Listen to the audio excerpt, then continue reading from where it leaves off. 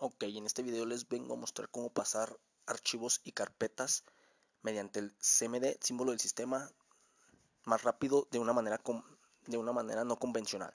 Ok, podemos pasarlo de un archivo, de un USB a la máquina o viceversa, ok. Para ello vamos a checar cuánto mide, cuánto pesa esta carpeta.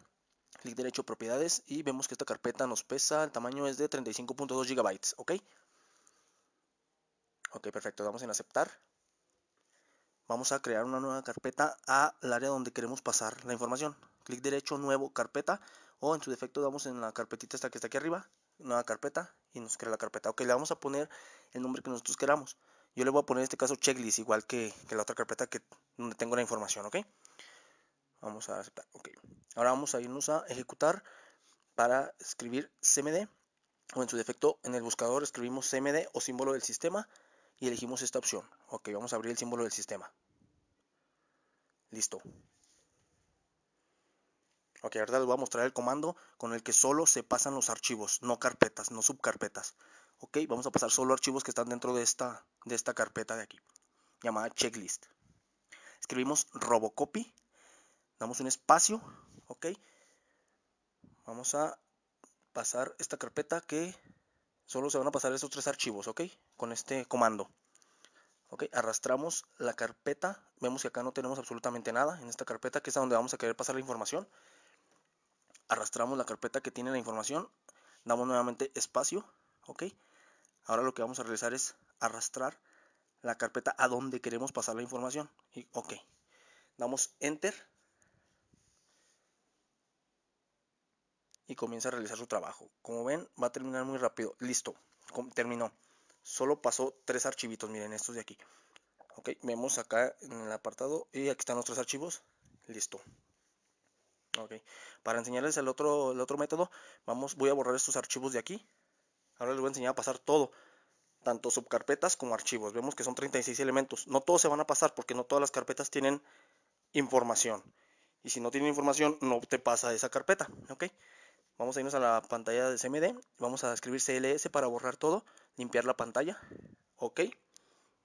Ahora escribimos nuevamente Robocopy, espacio, diagonal y una S. Ok. Espacio. Vamos a arrastrar la carpeta que tiene la información. Vamos a dar un espacio. Y ahora vamos a arrastrar la carpeta a donde queremos pasar la información. La diagonal S es para que nos pase las subcarpetas. Ok.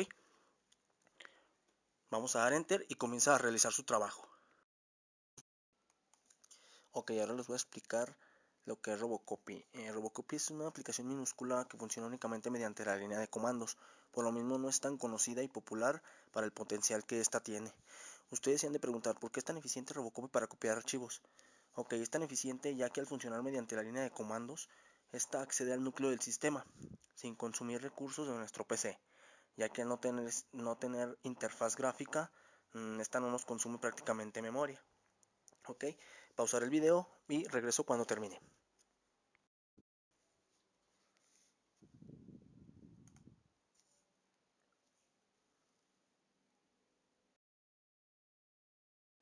Ok, como podemos ver, ya terminó de realizar su, trabajo.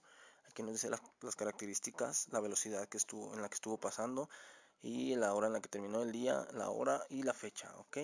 Vamos a limpiar la consola con CLS, ya podemos cerrar esta misma. Vamos a ver, tiene 36 elementos, ok. Y de este lado tiene solo 26 elementos. Vamos a checar, por ejemplo, en la...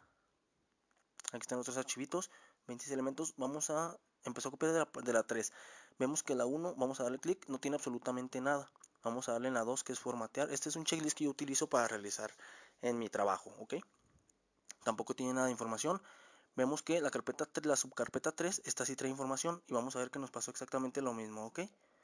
Vemos son 8, 8 elementos y 8 elementos de este lado, ¿ok? Como les comento, solo pasa las subcarpetas que tienen información, las demás no las toma en cuenta absolutamente, ¿ok? Espero les haya gustado el video.